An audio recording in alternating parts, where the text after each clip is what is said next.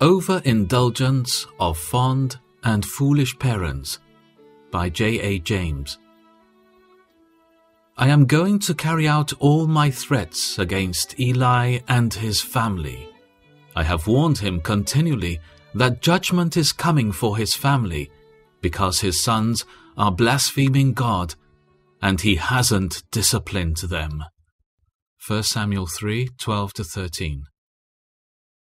There is, in some households, no family government, no order, no subordination, no discipline.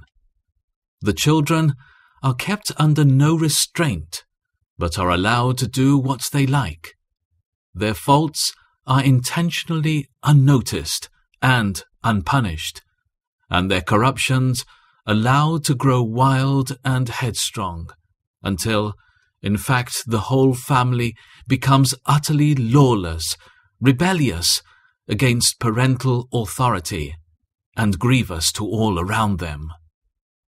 How many have had to curse the overindulgence of fond and foolish parents?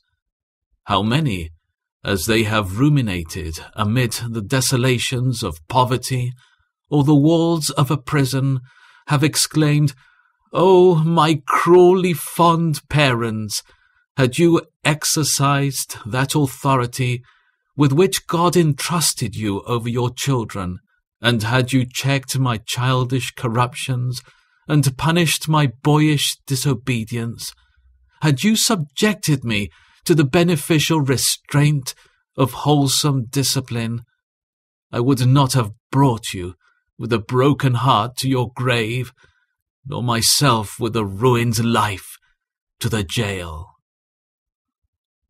Overindulgence of children is awfully common and continually making shocking ravages in human character.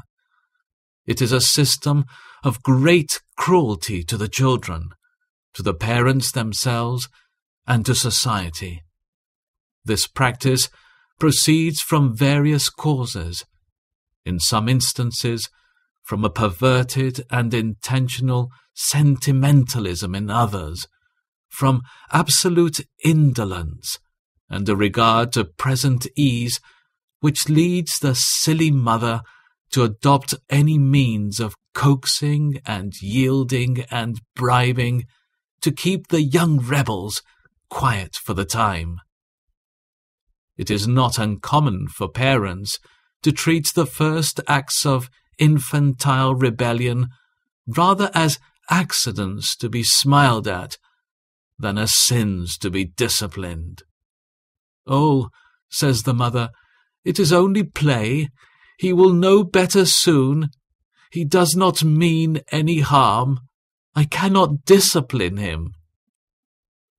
Lack of parental discipline, from whatever cause it proceeds, is in the highest degree injurious to the character of the children.